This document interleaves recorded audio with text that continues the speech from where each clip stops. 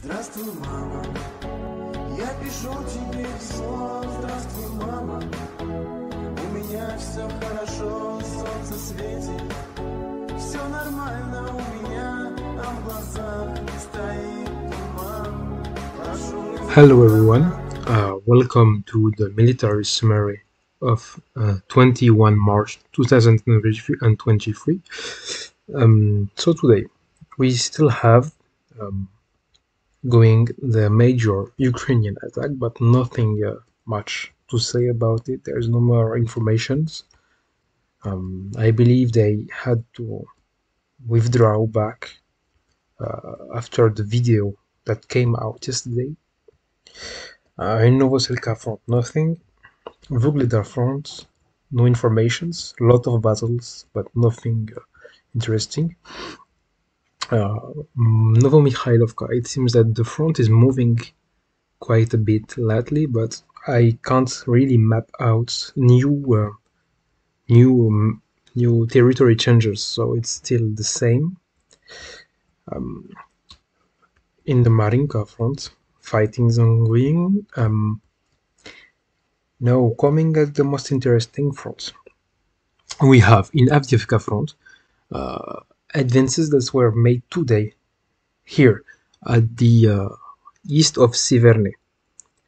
Uh, they are actually uh, reports from the front. Uh, from there, uh, are saying that basically uh, the Russians are moving towards uh, Orlivka and Last, uh, Lastoshkine. Uh, so what it means uh, that the previous day attack toward Avdiivka uh, here with these territories gained uh, were also uh, due to Russians in fact capturing these areas. I'm still not sure about this field, like these three lines, because there is this house here that is uh, controlled by Ukrainian troops and also uh, these these hangars. But I'm quite sure about these ones, these ones, and no also these ones because now from there they are also attacking. Uh, there is reports of uh, fighting co- coming close to Lastoshkine and also from Orlivka. From Orlivka, it's uh, different. The attack uh, against Tepove resulted in Russians moving through this tree line and in this riverbed here. From there, they are now uh, starting to like uh, move closer to Orlivka. It's not real uh, fights, but still, um, they are uh, putting mortars and other way and shooting other things like toward Olivka. Um, and now uh, concerning uh, um, so yesterday, as you know, the Stepov has been captured and there was attacks against Berdychi. And uh, today, um, the Russians captured this portion of the. They captured fully this tree line yesterday, but today they also managed to advance notably in this tree line. Uh, from this tree line, they now have a clear view of the entire field.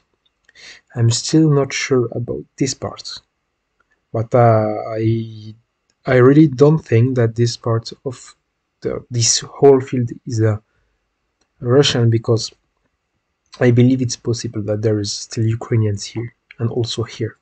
So it's not really a good move for, for Russians now. Um, there has been so no more gained territories around here. Uh, moving up to the Bakhmut front. Oh, it was really interesting because today, actually, the Ukrainian uh, Minister uh, of Defense reported that the Russians attacked Pretek, oh, fuck,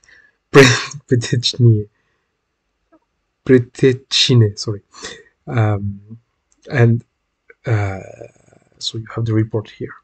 I copied and pasted it. Um, as you can see, Predtechyne. So they attacked here. So that means that they, uh, uh, they control this this uh, forest. And if you remember in the first video where my voice is too low, uh, if you like increase the sound, you heard me like saying that uh, the Ukrainians reported that they attacked near Klishchevka. So I mapped, uh, I mapped it like that. Yes, I mapped it like that because I felt like I was forced. I did not want to risk con contradicting the official Ukrainian reports, but uh, either it means that they their attack resulted in a defeat and uh, they well they had to they be they be they has been patched uh, patched out but uh, for this forest there was also reports saying that the Ukrainians counterattacked all over the north uh, and pushed out the the Russians here. That's why I moved back.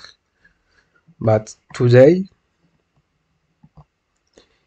as you can see uh, we're back at this uh, map. They attacked Preshny they are in this forest so I was uh, right because um, if right uh, I remember having mapped this forest as Russian once, but I don't remember when exactly. I'm going to try to find the mapping. Ah, yes. Mm. So after when I stopped mapping it like that. Okay. Uh, starting from uh, last day I mapped it like that before was the 12th March and starting from 13th March I stopped to map this forest as Russians because um, Ukrainians say that they counterattacked around Stupochny but uh, Stupochki but it seems like either the front changed a lot either uh, it wasn't uh, that true they counterattacked but the advance that they shown wasn't that big. Or like it wasn't the whole, the whole forest. So now we're back at this mapping today. Uh, they also attacked the Russians also attacked the highway. So they still here in fact uh, so yeah lots of uh, false Ukrainian um, reports. But uh, from my side I uh, had a bad um, Russian uh, information. But it wasn't an official one but I mapped wrongly this stadium as Russian because the report actually said that the Russians are already in it and fighting clearing the, for the stadium. But it seems that from the recent videos uh, they are not really uh, still inside it or they are fighting around it um, in the north there is fighting reporting in the Azom plant the steel plant the uh, and fighting is around Kromove. Uh, Bogdanovka attacks as usual. Uh, Grigorievka, I have no informations, no new informations, and uh, Ukrainians also Ukrainian Minister of Defense uh, name dropped uh, Novomarkov. Uh, they say that the Russians are, uh, are fighting and uh, moving closer to Novomarkov. So as usual, what it means, it doesn't mean that the Russians are in Novomarkov. It means that the closest town to their attacks is Novomarkov. So not Grigorievka, not Orekhov Vasilievka, not Markov. Um, according to my understanding and uh, the most likely path the Russians took is that after they took this portion of the field uh, a few days ago, they now moved toward this big uh, these like denser forest lines and uh, now they have like control over these parts um, if you move around uh, I have no real information, no new informations about this place. Um, same from Privilia. I just know that there is attacks. And uh, live map UA, the Ukrainian Western source mapping, actually shows the road the Russians to be up until here. But I really don't believe that, even though it's like uh, well Western mapping, you know. But I don't think it's true. Uh, I think it's just misunderstanding. They don't actually have like the real. Uh, they, they are not primary source. They are just uh, mapping according to what the Russian minister, uh, the Ukrainians say. So moving in the Severny, like Severny's here, I know, but there is no information. I guess they still fighting around Belogorovka as usual. Uh, nothing new here, nothing new around this here. Um, if you move up north, there is no new information about this place, so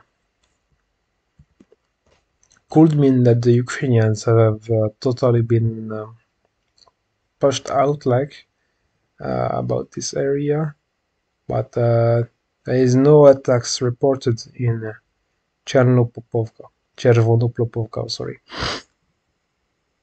Uh, as usual, fightings out Terni, Yampolovka, Nevsky, Makevka.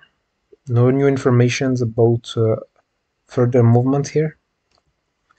And uh, going up north, there is nothing. Like, really nothing.